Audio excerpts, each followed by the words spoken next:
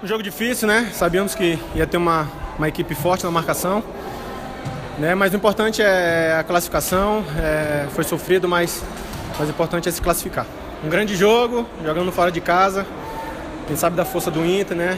Apesar de estar na segunda divisão, mas sempre contra grandes times. Então vamos, vamos trabalhar esse tempo que a gente tem até quarta-feira para a gente fazer um grande jogo lá. Ah, é importante, né? Você é, poder estar disputando semifinais é, com a camisa do Corinthians. A gente sabe da grandeza do clube, né? A gente sabe que é importante você estar sempre buscando títulos para fazer história dentro de um clube. E a gente chegou bem, graças a Deus. Agora é se preparar bem para esses jogos finais.